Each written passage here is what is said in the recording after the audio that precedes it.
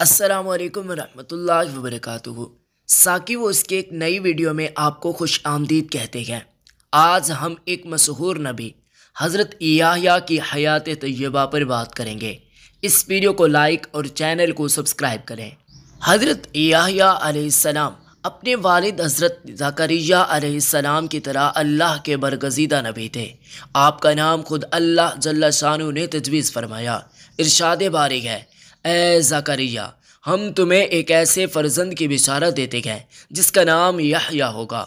इससे पहले हमने इस नाम का कोई शख्स पैदा नहीं किया। गोया दुनिया में सबसे पहले आप सलाम का ही नाम याहया रखा गया, और आप सलाम अपनी सिफ़ात में भी सबसे मुनफरद थे। हज़रत सलाम अपने वालिद, हज़रत ज़करिया सलाम की दुआओं का समर थे, जिन्हें अल्लाह ने बुढ़ापे में औलाद अता फरमाई। हज़रत याहिया की वालदा ईशा और हज़रत मरियम सलाम की वालदा होना आपस में हकीकी बहनें थी। जो हज़रत याहिया और हज़रत ईसा आपस में खाला ज़ात थे। आम तौर पर वालदा की खाला को भी खाला ही कह दिया जाता है। नीज़, हज़रत याहिया हज़रत ईसा से उम्र में छः माह बड़े थे। हज़रत याहिया कसरत से गरिया उजारी किया करते। यहाँ तक कि आंसुओं की वजह से रुखसारों पर निशान पड़ गए थे। इबन असाकर ने रिवायत की है कि एक रोज़ वालदेन उनकी तलाश में निकले तो देखा कि वो जंगल में एक कब्र खोदे, उस पर खड़े जारो कतार रो रखे गए वालदेन ने फरमाया, बेटे, हम तीन दिन से तुम्हारी तलाश में गए उस पर आप सलाम ने आखरत के हवाले से ऐसी पुरअसर गुफ्तु की कि वालदेन रो पड़े। हज़रत या बेहद हलीम रक़ीक़ुल्क़ल्ब पाक बास, आबिद मुत्तकी, इस्तगनाओ कनात से सरशार, सरम हया के पेकर और शीरी कलाम थे। नहायत सादा ज़िंदगी बसर करते।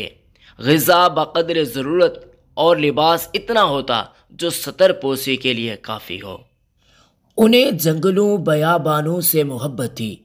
ज़िंदगी का ज़्यादातर हिस्सा वहीं गुजारा, जहाँ दरख्तों के पत्ते और शहद बा तोरे गज़ा तनावल फरमाते। प्यास लगती तो नहर से पानी पी लेते। ज़िंदगी भर शादी नहीं की। हज़रत ईसा ऊन का लिबास पहनते। जबकि हज़रत याहिया जानवरों के बालों का लिबास जेब तन करते। दिरम व दिनार थे, ना कोई गुलाम या बांदी। कोई मखसूस ठिकाना भी ना था। जहाँ रात हो जाती, वहीं बसेरा कर लेते। हज़रत जबरील आमीन आसमाम जंगल ही में वही लेकर हाजिर हुए। हज़रत अब्दुल्ला बिन मुबारक रहमतुल्लाह फरमाते हैं कि बच्चों ने हज़रत याहिया को बचपन में कहा, आओ चल कर खेल कूद करें। तो आप सलाम ने फरमाया, हम खेल कूद के लिए पैदा नहीं किए गए। हज़रत रबी बिन अनस फरमाते हैं, हज़रत ईसा की नबूवत सबसे पहले तस्लीम करने वाले हज़रत याहिया थे। हज़रत इबन अब्बास रज़ी अल्लाह तु से मरवी है कि रसूलुल्लाह सल्लल्लाहु अलैहि वसल्लम ने फरमाया, औलाद आदम में कोई ऐसा नहीं जिससे गुनाह सरजद ना हुआ हो, सिवाय हज़रत याहिया के। कुरान पाक में आपका ज़िक्र उन चार सूरतों में आया है, जिनमें हज़रत ज़करिया का भी ज़िक्र है, यानी सूरह आल इमरान, सूरह नाम, सूरह मरियम और सूरह अम्बिया अल्लाह अज्जा वजल ने हज़रत याहिया पर वही नाजिल फरमाई। याहिया, हमारी किताब मजबूती से था और हमने उनको लड़कपन ही में दानाई अता फरमाई थी। और अपने पास से शफकत और पाकिजगी भी और वो परहेजगार थे। और माँ बाप के साथ नेक सलूक करने वाले थे। और सरकस और नाफरमान नहीं थे। और उन पर सलाम हो। जिस दिन वो पैदा हुए और जिस दिन वफात पाएँगे और जिस दिन ज़िंदा करके उठाए जाएँगे। हज़रत याहिया अभी कम उम्र ही थे कि परवरदिगार आलम ने फ़रिश्तों के ज़रिए तौरात हिफ्स करवा दी और उन्हें हुक्म दिया कि आसमानी किताब का जो इल्म तुम्हें अता किया गया है, उस पर ख़ुद भी अमल करें और अपनी कौम को भी उसका दर्स दें। इसके साथ ही उन्हें बचपन ही में इल्म दानाई अक्ल हमत तहारत व पाकिजगी और परहेजगारी अता फरमाई गई। और उनमें वो तमाम खूबियाँ यक जा कर दी गईं, जो एक नेक पारसा और साहिब ईमान बंदे की शान है। गुनाहों, नाफरमानियों और सरकशी से कोसों दूर वालदेन के फर्मा बरदार और मखलूक खुदा के खिदमत गुजार हज़रत सलाम, अपने वालदेन ही नहीं, बनी इसराइल के लिए भी अल्लाह ताला का एक बहुत बड़ा इनाम थे। आप सलाम को अल्लाह ताला की तरफ़ से तीनों हालतों में सलामती मिली, यानी पैदाइश के दिन, मौत के दिन और योम हसर दरअसल, ये तीनों मौाक़े किसी भी इंसान के लिए सख्त वाशकनाक होते हैं। सो इस मामले की तहकीक ये है कि जिस शख्स की हालत हज़रत यासलाम की सी हो, उस पर आखरत का ख्याल इस कदर गालिब हो कि बीवी की ज़रूरत महसूस करें, ना ही बीवी बच्चों के हकूक़ अदा करने की फ़ुर्सत हो। तो ऐसे शख्स के लिए यही अफजल है कि शादी ना करें। इसी वजह से जिन अहादीस में निकाह की फजीलत आई है, उनमें ये भी कैद है, जो आदमी निकाह करने की कुदरत रखता हो और जोजियत के हकूक़ अदा कर सकता हो तो उसके लिए निकाह करना अफजल है, वरना नहीं। इंसान माँ के पेट से ही निकलते एक नई दुनिया देखता है, जो उसकी मुख्तसर सी तारीख दुनिया से बहुत ज़्यादा मुख्तलिफ़ होती है। मौत के दिन उसका वास्ता एक और दुनिया से पड़ता है। फिर जब उसे कब्र से ज़िंदा करके उठाया जाएगा तो वो अपने आप को मैदान हसर की होल नाकियों में घिरा पाएगा। बस इस आयत में इन तीनों मकाम और मौाक़े पर अल्लाह ताला की तरफ़ से हज़रत सलाम के लिए सलामती का ऐलान किया गया। सूरह आल इमरान की आयत उनतालीस में अल्लाह तबारक व ताली ने हज़रत सलाम की पाँच ख़ास सिफ़ात का ज़िक्र फरमाया है। इरशाद बारी ताला है। अभी वो इबादत गाह में खड़े नमाज़ ही पढ़ रहे थे कि फ़रिश्तों ने आवाज़ दी, ज़करिया, अल्लाह आपको याहिया की बिशारा देते हैं।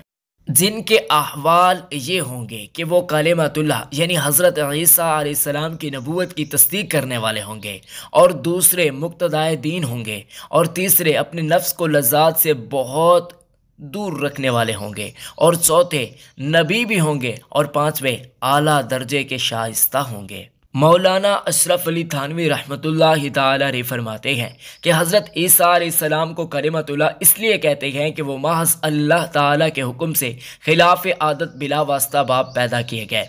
इस तरह अपने नफ्स को लज्जात से रोकने में सब मुबाह ख्वाहिशात से बचना शामिल है। जैसे अच्छा खाना अच्छा पहनना, निकाह करना वगैरह। जब्त नफ्स की सिफत बयान करने से वाहिर ये मालूम होता है कि अफजल तरीका यही है कि हालाँकि अहादीस से निकाह की फजीलत साबित है।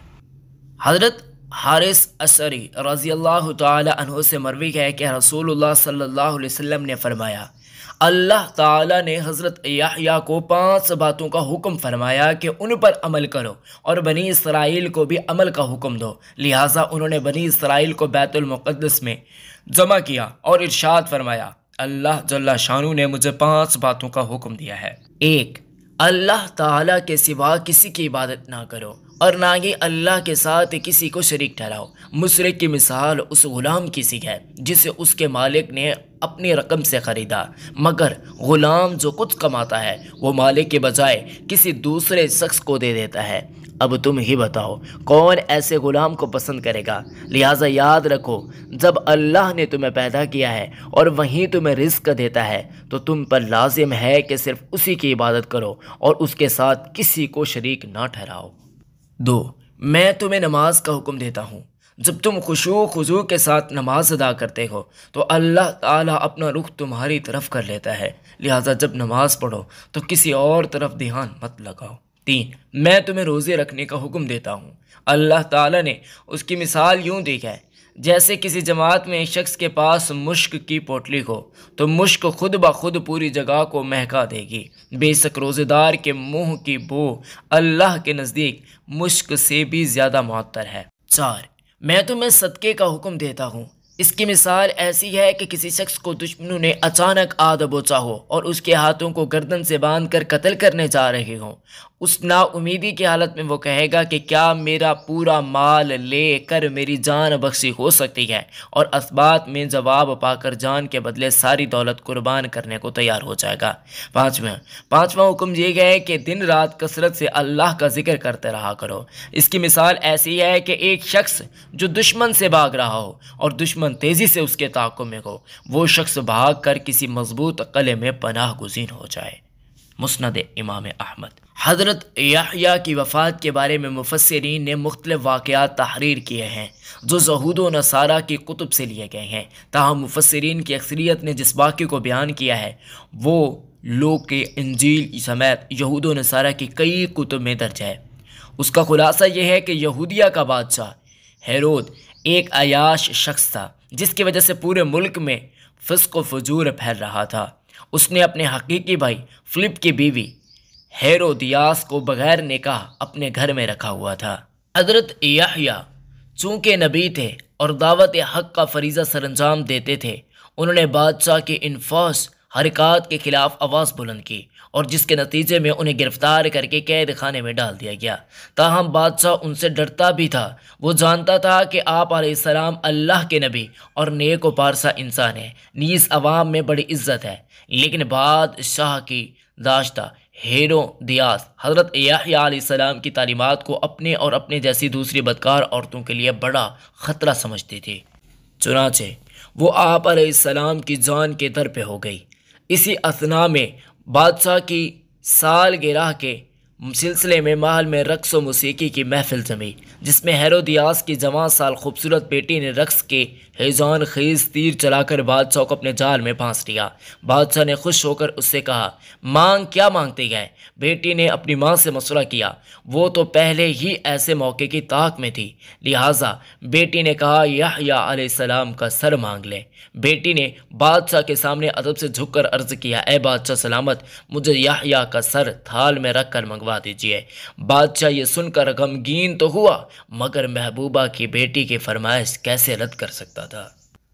चुनाचे उसने फ़ौरन कैद खाने से हज़रत याम का सर कटवा कर मंगवाया और एक थाल में सजाकर महबूब रकासा की बेटी की नज़र कर दिया। कहते हैं कि दमिश की जामिया मस्जिद बनी उमैया के हाल में आप सलाम का सर मुबारक दफन है। उम्मी खलीफा वलीद बिन अब्दुल मालिक ने ये मस्जिद तामीर करवाई थी। मर्रखीन ने लिखा है कि दौरान तामीर, जहाँ एक गार दरियाफ्त हुआ, इतला मिलने पर खलीफा खुद गार में दाखिल हुए तो देखा कि एक संदूक में इंसानी सर रखा हुआ है और उस संदूक पर तहरीर है। ये हज़रत या बिन जाकरिया का सर है। उनका चेहरा और बाल अपनी असली हालत में थे। यूँ लगता था जैसे अभी शहीद हुए हों। वीडियो देखने के लिए शुक्रिया। इस वीडियो को शेयर करें लाइक करें। मिलते हैं अगले वीडियो में। अल्लाह पाक हम सब का हामी और नासिर हो।